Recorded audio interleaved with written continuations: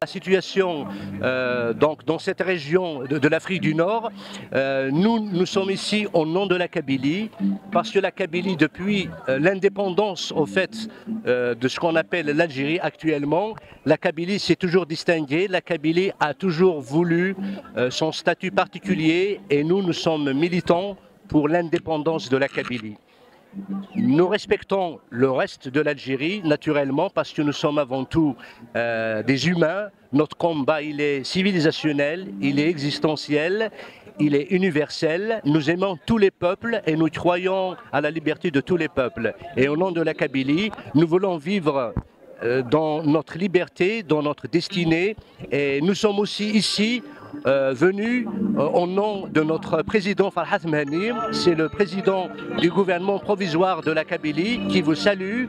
Et nous sommes heureux d'être ici au Maroc et de partager cette sève du combat pour la liberté. Alors, la relation entre la Kabylie et l'Algérie. Au fait, nous demandons un référendum d'autodétermination.